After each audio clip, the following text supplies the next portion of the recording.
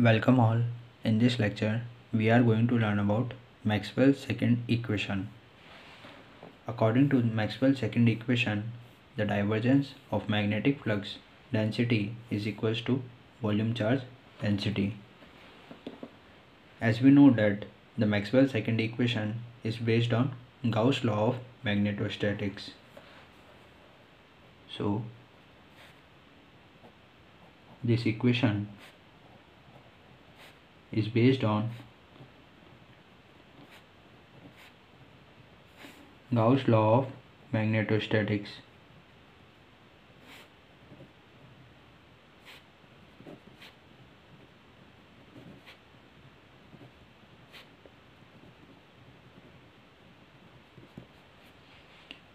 Now, if we discuss the Gauss law of magnetostatics, then according to the Gauss law,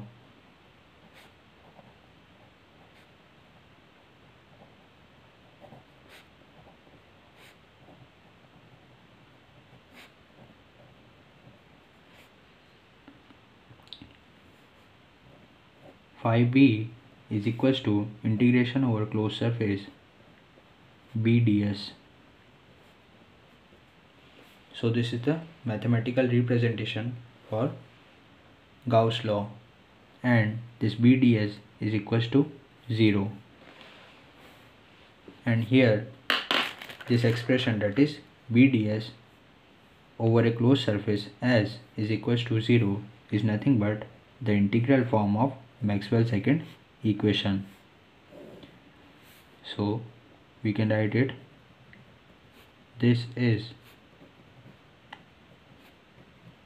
Maxwell's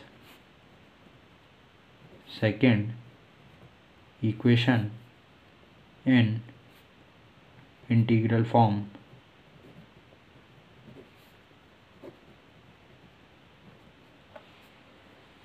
According to the Maxwell second equation in integral form, the net magnetic flux through a closed surface is equals to 0.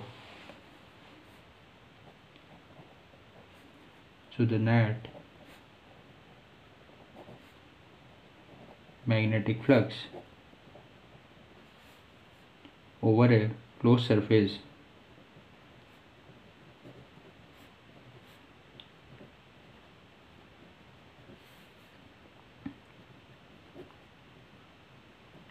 is always equals to 0.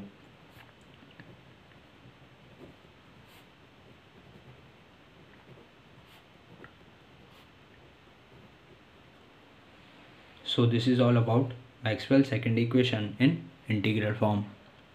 Now let us derive Maxwell's second equation in differential form.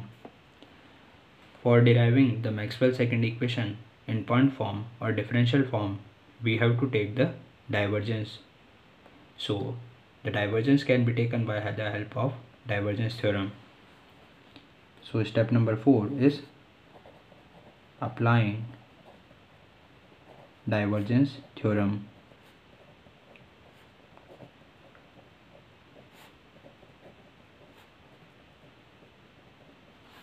So by applying the divergence theorem we will get this surface integral being converted into volume integral because divergence theorem shows the relationship between surface integral and volume integral.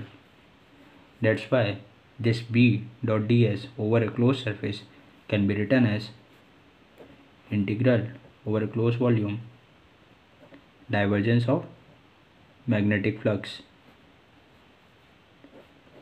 over volume dv that is equals to 0 so this is the mathematical representation that we get after divergence theorem. Now for getting the Maxwell second equation in point form or differential form we have to remove this volume integral. So on removing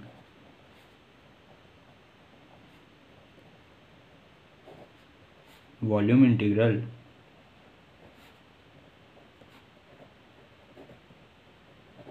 we get this del dot b is equals to 0 and this expression is nothing but Maxwell's second equation in differential form.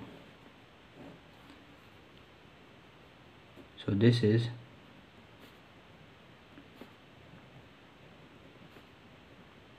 Maxwell second equation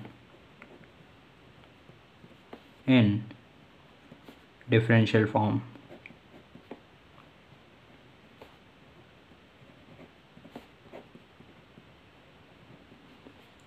So this is all about Maxwell's second equation and in this lecture we have derived the Maxwell's second equation in both the integral as well as in the differential form.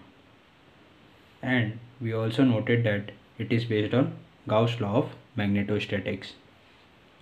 If you like my videos then do subscribe my channel and please hit the like button. Thank you.